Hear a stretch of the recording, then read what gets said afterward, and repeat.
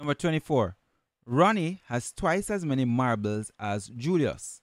Together, they have 45 marbles. How many marbles does Julius have? So, Ronnie and Julius. Ronnie has twice as many as Julius. The sum of their marbles would be 45. So, let's rewrite this as 2x plus x is equal to 45.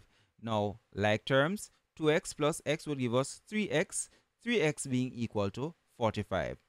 To get x, I'll have to divide the left-hand side of the equation by 3 and the right-hand side of the equation by 3. So 3 will cancel 3, leaving me with x. And 3 into 45 goes 15 times. x is equal to 15. Let's substitute. Remember that 2x plus x should give me 45. So 2 times what? 15 plus 15 should be equal to 45. Now 2 times 15 will give me 30. And 30 plus 15 is equal to 45. And we have 45 on both sides. Remember the PEMDAS rules here.